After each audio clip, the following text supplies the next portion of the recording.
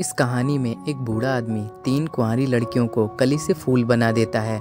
फिर वो तीनों लड़कियाँ एक लड़के के लिए अपनी गुफाओं का दरवाज़ा खोल देती हैं। मूवी के स्टार्ट होते ही हम वीरान जंगल देखते हैं, जहाँ पर तीन बहनें अपने डैड के साथ रहती हैं। इन्होंने बाहर की दुनिया नहीं देखी थी। सबसे छोटी बेटी का नाम नीना और बड़ी बेटी का नाम माया था, जो काफ़ी सुंदर थी, और बीच वाली बेटी का नाम रिया था, और ये कम बोलने वाली लड़की थी। ये तीनों बेटी जंगल में अपने फादर इग्नो के साथ खेती करके अपना गुजारा करती थीं। इन तीनों बहनों में काफ़ी ज़्यादा प्यार था, और ये खूब सारी मौज मस्ती भी करती थीं। एक दिन हम देखते हैं, पास के कस्बे से शू नाम का बंदा उनके घर पर आता है, जिसकी उम्र पचास साल थी। और ये हर महीने अपने दोस्त इग्नो से मिलने के लिए आता था और लड़कियों के लिए ढेर सारे गिफ्ट लेकर आता था। इग्नो को लगता था, शू उसकी बेटियों को अपनी बेटियों की तरह समझता है और बेटियाँ भी शू को अपने बाप की तरह समझती थीं। इस बार शू माया के लिए ज्वेलरी लेकर आया था और बाकी दोनों बहनों के लिए नए कपड़े खरीद कर लाया था। माया को ज्वेलरी बहुत पसंद आती है और वो इसे अपनी दोनों बहनों को दिखाती है। इसके बाद ये सभी लोग मिलकर डिनर करते हैं। अगले दिन जब इग्नो और शू शिकार करने के लिए जाते हैं, तब इग्नो आगे चल रहा था और शू उसके पीछे। फिर शू अपने बैग में से एक जहरीला सांप निकाल कर इग्नो की शर्ट में डाल देता है, जिससे उसकी मौत हो जाती है और वो फिर उसकी लाश को घर पर लेकर आता है, जिसे देखकर तीनों बहनें बहुत ज़्यादा रोने लगती हैं। इसके बाद वो अपनी फादर की लाश को दफना देती हैं। शू ने ये काम पूरे प्लान के साथ किया था। इसके बाद रात में शू माया से कहता है, इग्नो की इच्छा थी कि हम दोनों की शादी हो जाए, लेकिन माया उसकी बात पर विश्वास नहीं करती और शादी करने से मना कर देती है।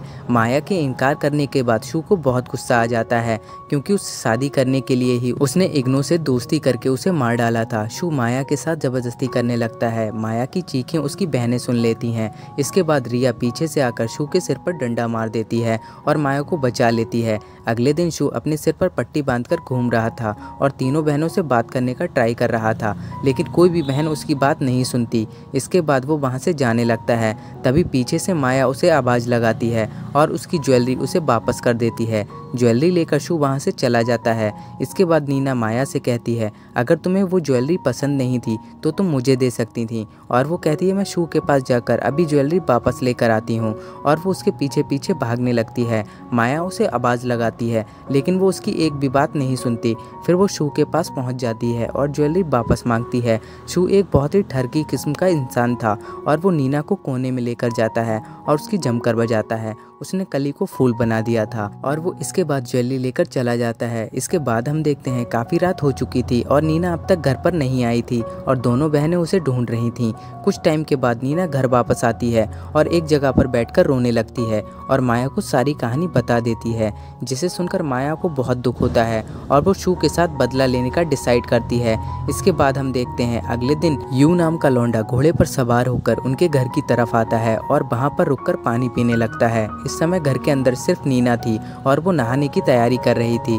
जैसे ही यू की नज़र उस पर पड़ती है, वो छुप उसे देखने लगता है। नीना को भी पता चल गया था, कोई उसे छुप देख रहा है और वो शोर मचाने लगती है। यू शोर सुनकर वहाँ से भागने लगता है, तभी नीना की दोनों बहनें वहाँ पर आ जाती हैं, फिर तीनों बहनें मिलकर यू को मारने लगती हैं। यू उन्हें बताता है, मैं शू का भतीजा हूँ और उसने मुझे गुलाम बनाकर रखा था। कल रात परेशान होकर मैंने उसकी हत्या कर दी और पुलिस से बचने के लिए मैं यहाँ पर आ गया। माया उसकी बातें सुनकर हैरान हो जाती है, क्योंकि अब वो चाह कर भी शू से बदला नहीं ले सकती थी।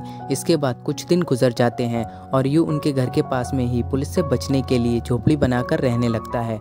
एक दिन उसके घर पर नीना आती है और उसके नीचे लेट जाती है। यू भी अपना घोड़ा उसकी गुफा में दौड़ाता है। जब से नीना को पता चला था, उसके साथ ज़बरदस्ती करने वाले को यू ने मार दिया है, वो उसकी तरफ़ अट्रैक्ट होने लगी थी। ऐसे ही कुछ दिन और बीत जाते हैं और नीना यू के साथ काफ़ी ज़्यादा टाइम स्पेंड करने लगी थी और अपनी बहनों के सोने के बाद वो रोज़ रात को यू के पास आ जाती थी और उसे जमकर खुदाई करने का मौका देती थी। एक रात रिया की आँख खुल जाती है और वो नीना को ना देखकर उसे ढूँढने लगती है। फिर हम देखते हैं माया की भी आँख खुल जाती है और वो दोनों बहनों को ढूँढने लगती है। रिया धीरे धीरे यू की घर की तरफ़ बढ़ रही थी और माया भी उन दोनों बहनों को ढूंढ रही थी। इधर नीना अपना काम खत्म करके यू के घर से चुपके से निकल जाती है और रिया फिर यू के घर पहुँच जाती है। है और यू से कहने लगती है, मुझे तुम पहले दिन से ही पसंद हो। और फिर वो अपने कपड़े उतार कर अपनी गुफा का नमकीन पानी यू को टेस्ट कराती है, यू अपना घोड़ा उसकी गुफा में दौड़ाता है। तभी वहाँ पर माया भी पहुँच जाती है और वो उन दोनों को कांड करता हुआ देखती है। ये देखकर उसकी भी गुफा से पानी आने लगता है और उसके पूरे बदन पर आग लग जाती है।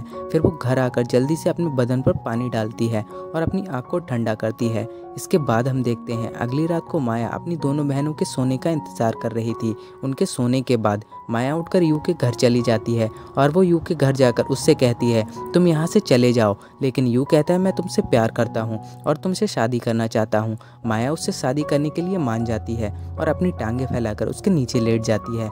यू फिर अपने घोड़े को खड़ा करता है और उसकी गुफा में दौड़ाता है। अब तीनों बहनें एक ही लड़के से खुदाई करवा रही थीं और तीनों ही उससे प्यार करने लगी थीं।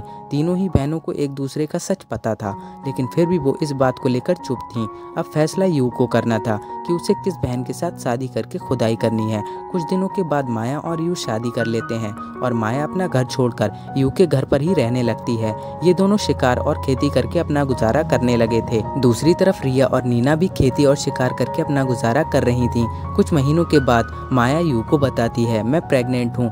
ये सुनकर यू बहुत खुश होता है। फिर एक दिन माया अपनी दोनों बहनों के पास आती है। नीना माया को देखकर खुश होती है, लेकिन रिया उससे नाराज़ थी, क्योंकि रिया भी यू से शादी करना चाहती थी। इसके बाद माया उन दोनों को बताती है, मैं माँ बनने वाली हूँ और अपने बच्चे के अच्छे भविष्य के लिए हम दोनों जंगल छोड़कर शहर जा रहे हैं। उसकी बातें सुनकर दोनों बहनें रोने लगती हैं, क्योंकि उन्हें पता था, अब माया शहर से कभी वापस नहीं लौटेगी। इसके बाद हम देखते हैं, रात होने के बाद रिया यू का घोड़ा चुरा लेती है, क्योंकि वो नहीं चाहती थी। माया और यू जंगल छोड़कर शहर जाएँ, इसीलिए उसने यू का घोड़ा चुराया था। अगली सुबह जब माया और यू शहर जाने की तैयारी कर रहे थे, तब यू को अपना घोड़ा दिखाई नहीं देता। फिर वो जंगल में अपना घोड़ा ढूँढने लगता है।